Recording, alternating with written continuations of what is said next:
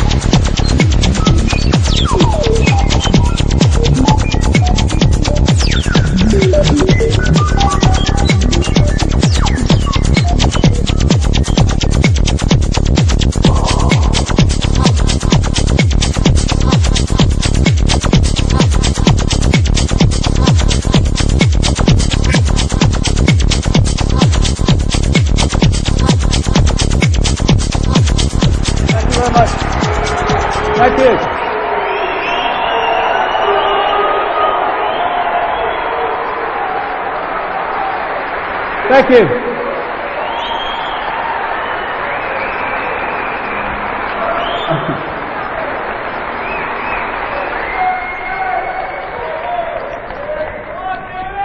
What comes to mind? What comes to mind as I, I look out here is uh, Devizes Town Hall, 1993.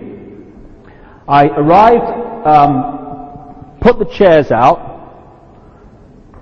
No bugger came and sat on them. Well, maybe three or four. I then put all the chairs back and went home poorer than when I arrived. And at that time, not only was that happening, uh, I couldn't go in a pub or down any street in Britain without being laughed at. I'd turn on the television and a comedian would say my name and to get a laugh. And now look at it. The point is, the power that these guys I'm going to talk about in detail today use to manipulate, control, and slaughter many of us, increasingly so, is only the power we give away every single day. When we take it back, game, set and match, it's all over. And we're in a period now, clearly, when people are waking up and that power is being taken back. I say this, that at a point when this manipulation, this global version of Nazi Germany starts to more and more put its head above the parapet where we can see it, it seems to be at its increasingly most powerful. It is in its death throes. Because this is the period when people in this planet are going to take their power back from the few that have run it literally for thousands of years. Now this guy, George Orwell, wrote his book uh, back in 1948, came out in 49, 1984 the book. In a time of universal deceit, he said, telling the truth is a revolutionary act. We are in a time of monumental deceit. At a time when, uh, did you, did you hear Prescott? Um, for people in America are seeing this on video, Prescott, the Deputy Prime Minister, when he was trying to get Labour MPs not to go against uh, Blair Boy this week over these weapons of mass destructions, he said, Tony doesn't lie. Tony only freaking lies. That's all he does.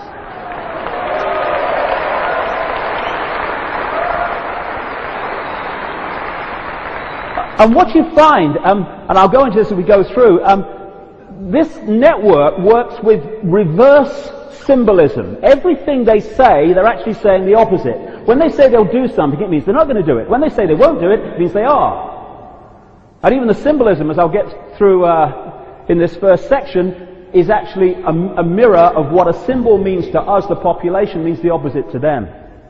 Oh, it's a big bloody stage, this, isn't it? Normally I'm standing like this. Our lives begin to end the day we become silent about things that matter. It's because we've done that for literally thousands of years that the few have taken more and more power into fewer and fewer hands. We're seeing it now uh, all the time. We're not just getting big companies taking over small ones now, we're getting mega corporations fusing with mega corporations. We're getting uh, decision making politically going further and further away from the people. And it's happening because we're allowing it to happen. But the wake up call has arrived. I'm going to get knackered walking all around here. Shite. Now, one of the things that stops people taking this thing on is they fear the consequences. And one thing I've learned over the years, that fearing doing something is actually far worse than actually flipping doing it. And it's like, oh no, they're, they're up there and they're powerful, I can't to talk out about them, I better keep my head down and mouth shut. Whoa.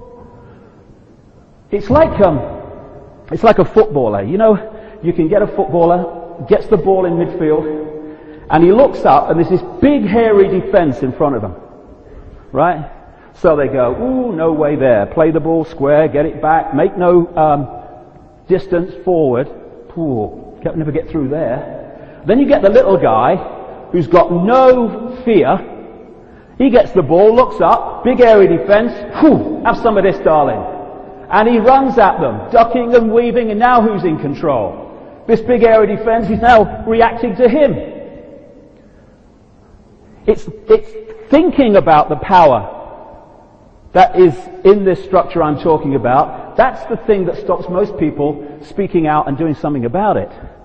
I'll give you an example. Uh, this is a Freemasonic um, kind of holy grail place in Boston, Massachusetts.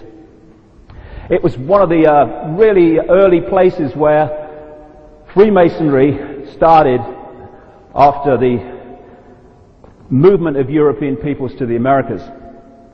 It's got about five stories and what have you. And what you'd think is, oh, never get in there.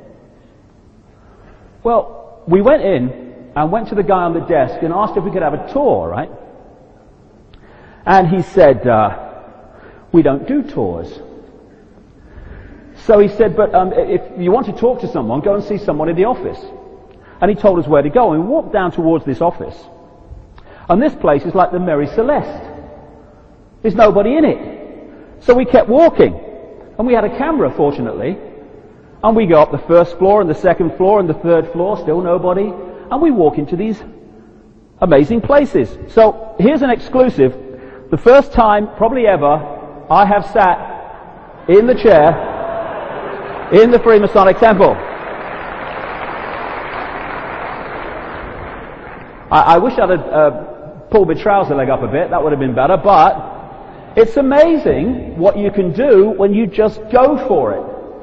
Because, like I say, the power that this network has over the people of the world is the power we give to them um, every day. The other thing that I, I hear people say is, uh, mustn't talk about these things. It's negative. You'll frighten people. Well, I'm, I do not think knowledge and information is any, ever negative. I think ignorance is bloody negative myself. Because when we're in ignorance, we can be manipulated. Piece of cake. When we are in awareness of it, it's a very different story. So, all I'm doing today is putting out information that I've gathered over the last 13 years of traveling around the world, uh, talking to untold numbers of people in more than 40 countries, to find out what's happening behind the movie screen we're told on the news is happening every day. And what you find is that, like I said earlier, this whole edifice of power, once it's exposed, it's a house of cards. Which is why it is so desperate to keep information about its existence from the people it is manipulating. And like I say, we're now in a period where the awakening is happening. And I've been, almost a barometer of this from half a dozen people maybe in Devizes Town Hall to talking around the world to larger and larger audiences. And it's not me, it's the information that people are now opening their minds to as what has remained hidden for so long is now coming uh, to the surface. And the other thing I would say is, it's only information. I was talking to someone yesterday on the radio and he didn't seem to be able to get it around in his head that it is possible to put out information without trying to